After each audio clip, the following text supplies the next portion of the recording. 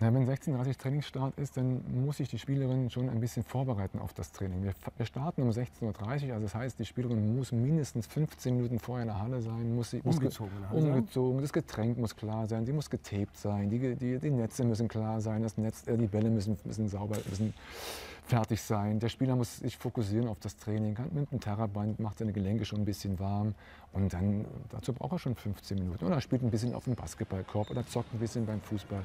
Einfach um sich auf dieses Training ein bisschen einzustimmen, um Lust zu haben, sich zu entwickeln, Lust zu haben, an sich zu arbeiten. Und das geht nicht, wenn man erst um halb in die Halle kommt und dann sagt, Coach, ich bin da. Das muss man schon vorbereiten ein bisschen.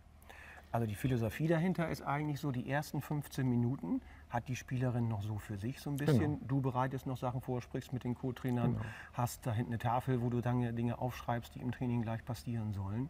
Ja, und dann nach 15 Minuten, da schreitest du quasi erst ein und dann geht es mit den ersten Übungen und den ersten Aufwärmspielchen und so weiter erst richtig los. Genau, die 15 Minuten sind die Mädchen auch für sich, die sollen sich selber vorbereiten. Da gibt es keinen Plan von mir. So, einer braucht ein bisschen Terraband, einer braucht ein bisschen die Rolle vorher vielleicht, also die Breakroll, um sich ein bisschen vorzubereiten. Einer braucht den Ball, einer braucht ja, weiß ich nicht, ein bisschen Gespräch mit dem Spieler, aber einfach, das, das muss vorbereitet werden. Ja, und das geht nicht, wenn man erst zu, zu Trainingsbeginn in der Halle erscheint, dann ist es zu spät.